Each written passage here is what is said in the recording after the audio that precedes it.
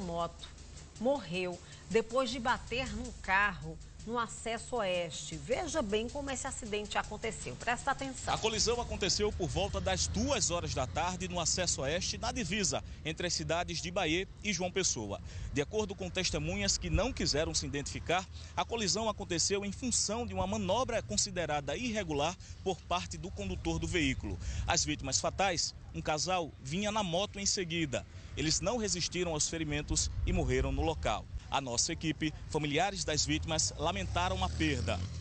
Equipes da Polícia Civil foram acionadas e uma perícia será realizada. Ela poderá esclarecer as causas do acidente. O condutor do veículo foi detido e encaminhado à delegacia. Olha, de acordo com a polícia, o motorista do carro prestou esclarecimentos e foi liberado depois da polícia constatar que o carro falhou. E na hora do acidente, ele estava tentando fazer o carro pegar quando o casal veio e bateu. Essa é a versão que ele está apresentando aí à polícia. É por isso que ele foi liberado.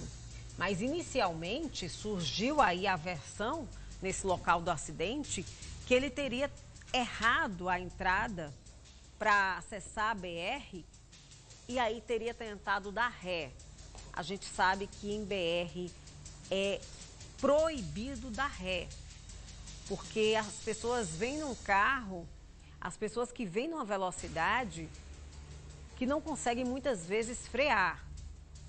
Essa foi a versão lá no local.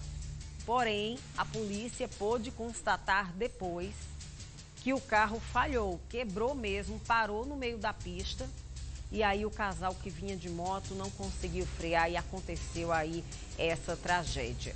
Ele, o motorista permaneceu no local do acidente, como deve ser, prestou os esclarecimentos à polícia, solicitou socorro, mas infelizmente o casal morreu no local.